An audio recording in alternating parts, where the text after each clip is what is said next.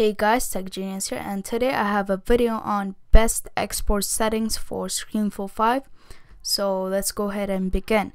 So to export your video you can just press down command E on your keyboard or you can just go to file on your menu bar and click on export.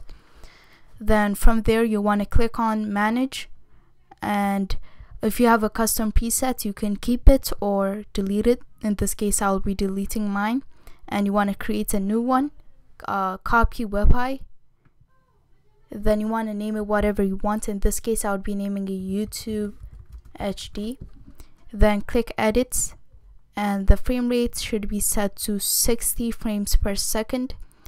Uh, the data rate should be set to 5000 if you are doing a 1080p video and uh, 3000 if you are doing a 720p video uh, then you want to leave the I am doing a, a 1080p video so I would set mine to 5000 so the profile should be set to main and the audio go to sample rates and it should be set to 48 and the, the data rate should be set to 256 so, so you don't need to change this. And click ok and you want to click ok again now you want to go to scale to custom size and scale it to whatever you want. But then i if you want hd video i would have the all the hd resolutions on the description or i'll just put it here when i'm editing the video.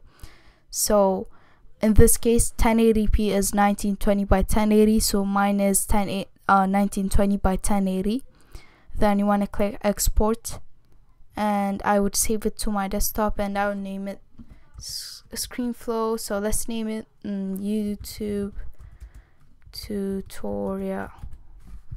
Then click save and it would take some time depending on the length of your video. So guys, I would be back once the video is done uh, exporting. So guys, I'm back and I am going to the uh, to play the video I have exported from ScreenFlow so let's double click uh, double click on it to open. And I'm just gonna go to full screen mode and play the video. Tech Genius here. And today we would be talking about the basics of ScreenFlow.